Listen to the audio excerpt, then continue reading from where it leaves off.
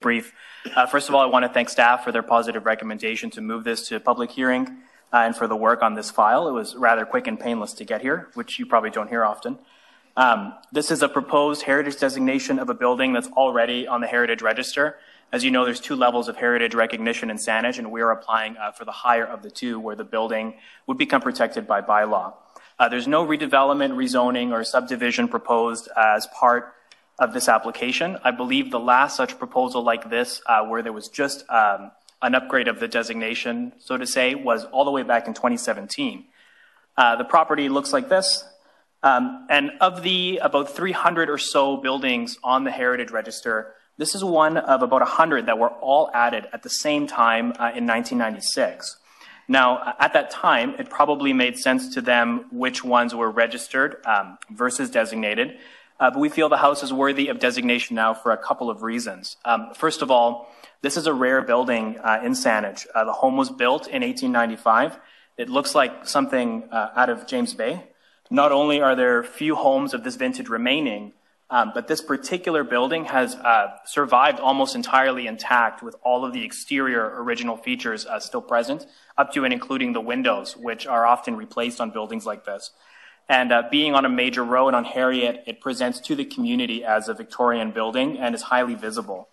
Um, there's also precedent for homes like this being designated within the region. So these are three other similar properties um, that are probably from very similar plan books of that age. So in Vic West, um, an almost identical structure in Esquimalt and uh, another designated farmhouse in Saanich. Um, the Esquimalt one is actually almost exactly exactly the same. Um, what's also interesting is that this is not a home that um, started out on a larger lot and was subdivided. It's actually on its original lot um, from that time. And so in 1892, this subdivision was created out of the Yates estate. And uh, three years later, in 1895, this home was built. Uh, and so it's essentially a preserved artifact from the very beginning of, uh, of Saanich's urbanization. And so um, what's interesting is that today it, it, sits in a part of Saanich that's envisioned uh, for significant growth and to be, you know, the most urban part of Saanich in the future.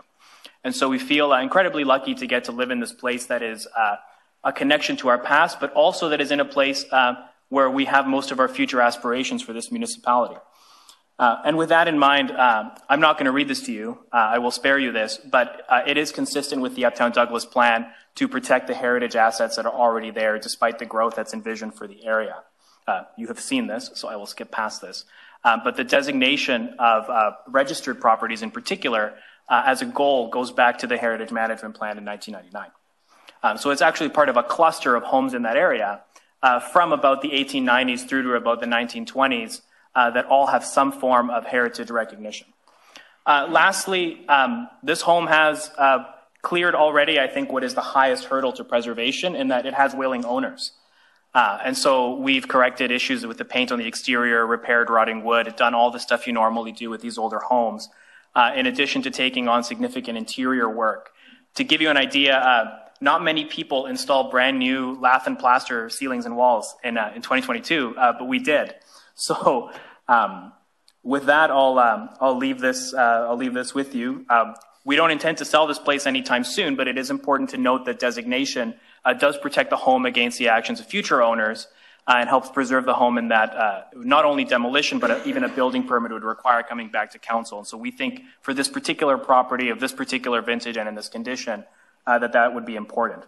And lastly, um, Lauren and I both serve on the Heritage Foundation as well. And so part of our motivation for this as well is to go through the process and learn the process so that we can help other owners, especially of, uh, of registered properties, uh, designate their properties. And so uh, happy to say that the process was not that complicated. and uh, hopefully we'll be able to support other homeowners in this as well. So thanks for your time and thanks for considering this application tonight.